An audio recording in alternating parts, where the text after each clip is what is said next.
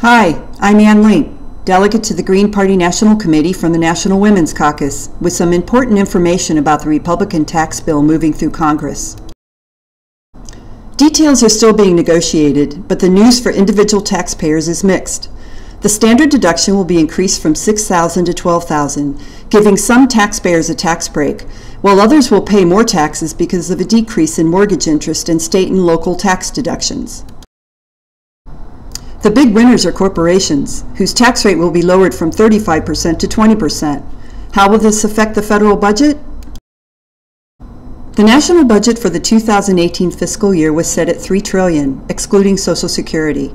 The tax breaks will create a deficit of 1.4 trillion by 2022. The deficit will be offset by cuts in essential programs such as Medicare, Medicaid, food stamps, and CHIP a health insurance program covering 9 million children and several thousand pregnant women.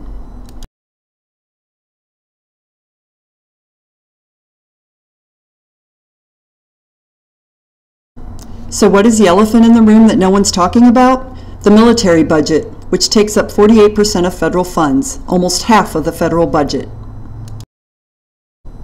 Military spending has gone up on average since 1965, reaching its highest level ever under the Obama administration. The current president plans to add almost 700 billion over the next 10 years as tax revenues lower, creating pressure for more cuts in spending. What's the solution? The Green Party. We support lowering taxes for individuals and increasing them for corporations, and we support cutting the military budget by half. This will create a peace dividend to fund the programs we need, such as single-payer health care and the transition to a green economy.